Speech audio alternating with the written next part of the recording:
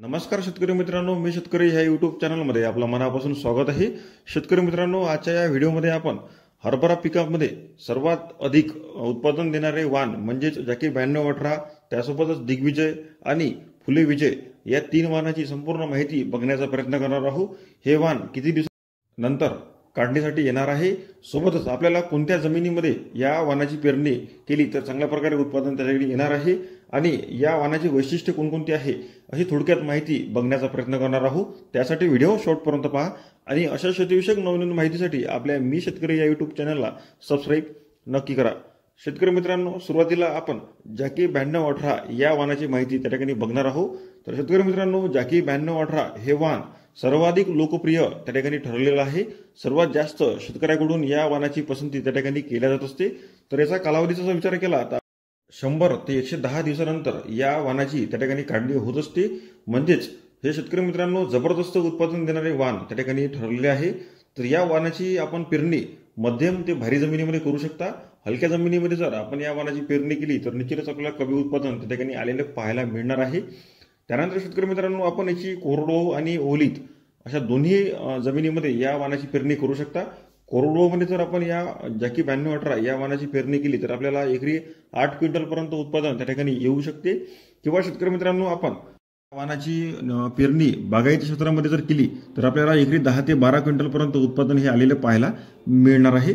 शेतकरी मित्रांनो मर रोगास अतिशय प्रतिकारक्षम हे वाण असलेलं त्या ठिकाणी पाहायला मिळते. त्यानंतर शेतकरी मित्रांनो आपण दिग्विजय या वाहनाची माहिती बघणार आहोत. तर दिग्विजय हे वाहन नव्वद ते पंच्याण्णव दिवसानंतर काढणीला आलेल्या त्या ठिकाणी पाहायला मिळते. याचा जर बागायती जर विचार केला तर आपण एकशे दहा ते एकशे पंधरा दिवस एवढा कालावधी बागायती क्षेत्रामध्ये पेरणी केल्यास आपल्याला काढणीसाठी होऊ शकतो. याचा दाण्याचा जर आपण रंगाचा विचार केला तर दाण्याचा रंग आपल्याला पिवळसर तंबूस अशा प्रकारे असलेला पाहायला मिळतो.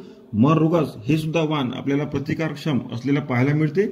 याच्यामध्ये आपण जिरायती आणि बागायती दोन्ही जमिनीसाठी या वाणाची त्या ठिकाणी पेरणी करू शकता.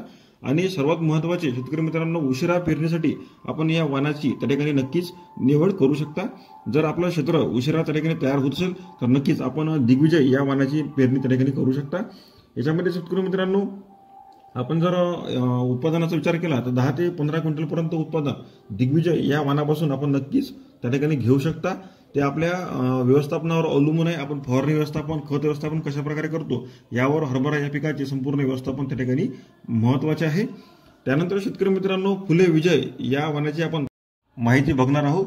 तर शेतकरी मित्रांनो फुले विजय या जर वानाची आपण पेरणी करत असाल तर याचा कालावधी आपण पंच्याऐंशी ते नव्वद दिवसानंतर त्या ठिकाणी काढणी करू शकतो. त्यानंतर शेतकरी मित्रांनो याची कोरडो आणि बागायती अशा दोन्ही क्षेत्रामध्ये आपण याची पेरणी करू शकतो. जर आपण बागायती क्षेत्रामध्ये याची पेरणी केली तर एकशे पाच ते एकशे दहा दिवसानंतर आपल्याला हे पीक त्या ठिकाणी काढलेली आलेलं पाहायला मिळणार आहे. पाण्याचा ताण सहन करण्याची क्षमता या वाहनामध्ये आपल्याला प्रामुख्याने पाहायला मिळते. शेतकरी मित्रांनो मर रोगास हे सुद्धा वाहन आपल्याला प्रतिकारक्षम असलेले पाहायला मिळते. आणि उशिरा पेरणीसाठी आपण या वाहनाची नक्कीच त्या ठिकाणी पेरणी करू शकता. या वाणाचा उत्पादनाचा जर विचार केला तर बागायती दहा ते पंधरा क्विंटल पर्यंत आणि कोरडो जर आपण या वाहनाची पेरणी करत असाल तर आठ ते दहा क्विंटल पर्यंत अशा प्रकारे उत्पादन या वाहनापासून आपण नक्कीच घेऊ शकता. तर शेतकरी मित्रांनो अशा प्रकारे दोन ते तीन वाण आपण या ठिकाणी माहिती बघण्याचा प्रयत्न केलेला आहे. तर आपल्याला माहिती कशी वाटली नक्की कमेंट करा. शेतकरी मित्रांनो हरभरा या पिकाची पेरणी करत असताना आपल्याला जमिनीमध्ये योग्य ओलावा हा असणे अत्यंत आवश्यक आहे. आणि हरभरा या पिकाची पेरणी करत असताना आपल्याला बियाण्याला बीज प्रक्रिया करूनच हरभरा पिकाची पेरणी त्या ठिकाणी करणे आवश्यक आहे. जेणेकरून आपल्या हरभरा पिकामध्ये मर रोग हा येणार नाही. तर शेतकरी मित्रांनो अशा प्रकारे आपण हरभरा पिकाची माहिती या ठिकाणी बघितलेली आहे. माहिती कशी वाटली नक्की कमेंट करा.